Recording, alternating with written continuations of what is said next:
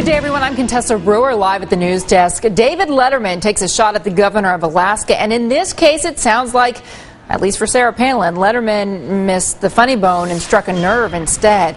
It began earlier this week when he made Sarah Palin the subject of his top 10 list. Number two, uh, bought makeup at Bloomingdale's to update her slutty flight attendant look. And the number one highlight is Sarah Palin's trip to New York. Uh, especially enjoyed not appearing on Letterman. Well, there you go. Palin was a guest on John Ziegler's radio show and she got a chance to respond to Letterman. For him to uh, pick up on such a, a thing, a distortion that again is based on um, a slow news day, evidently, not having anything else to talk about. That's uh, pretty pathetic, good old David Letterman.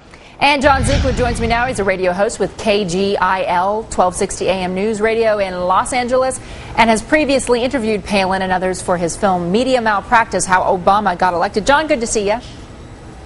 Uh, thanks for having me. Always interesting to go out with, with uh, the people with uh, Barack Obama's official network. Uh, now, I know you're very critical of the way that journalists in general have dealt with Governor Palin. I'm, i want to ask you today about your interview with Sarah Palin. Gee, I wonder so, why. So let me begin with do, do you want to do the interview? You want to talk about this? Yeah, I'd be okay. thrilled to. Wait, yeah, let's go let me it. ask you what Sarah Palin's problem with Letterman was. What was it about the top 10 list that hurt her feelings? Well, I don't know if her feelings were hurt. You'd have to ask her. She called David Letterman pathetic, which I think was an understatement because not only did he call her slutty, you left out the part where he also joked about her teenage daughter being knocked up by Alex Rodriguez in the middle of Yankee Stadium while she was at the game. By the way, I also happened to ask her about Keith Olbermann blatantly lying about her allegedly plagiarizing a speech, which she didn't do. I doubt that, that that'll come up on this particular network. It, well, it's certainly not going to come up uh, other than your mention in this particular interview because I want to ask you about David. Letterman and Sarah Palin. But but again, if you'd like to talk about that, I'm, I'm willing to go forward with the conversation. Yes? I'll talk about whatever Okay, you want. Hit me with your best shot. Good. Uh, let- so in this case, it's comedy. To talk about her real itinerary in New York, it's kind of serious, not really funny. Why did she take such offense? She called him pathetic, so she obviously took offense. Why was she so offended by David Letterman?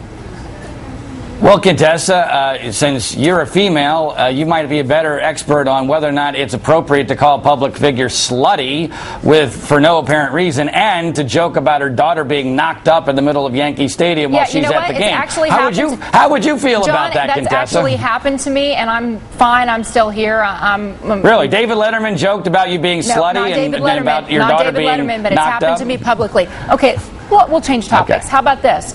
We just got a new poll out that shows that a majority of Americans don't know who speaks for the Republican Party. In this case, Sarah Palin, we're showing the people who got some of the responses. You've got Rush Limbaugh and, and Dick Cheney and John McCain. What about Sarah Palin? Does she feel at all concerned that she's not seen as a voice for the Republican Party? Let me get this straight. You find this surprising or shocking that because you and the media portray Republicans as old white men, uh, that the public perceives Republicans as old white men, and you destroy you- in a blatant character assassination John, Sarah Palin's character, and the public thinks that she's not worthy of that, at least in some terms. John, Yes, in your interview with Sarah Palin, did you ask her any tough questions, or are you functioning now as her spokesperson? Yes, I did. Okay, so Oh, you oh, yeah. interviewed her. I I'm asked her to- curious about the information Right. you elicited from Sarah Palin. This was a great interview. I urge anyone who's interested in the real Sarah Palin to go to howobamagotelected.com. You can listen to the whole 16 minutes. One of the questions I asked her was whether or not she felt dissed by John McCain when he went on Jay Leno, also on NBC, back when he was the host of The Tonight Show, and Wow. basically dissed her. Right. And surprise, surprise, surprise, surprise, she gave an incredibly classy answer, far showing far more class than clearly most people on this network have. I, don't really know what to do with that. You know what? I was honestly, I'm here to, to give you an opportunity.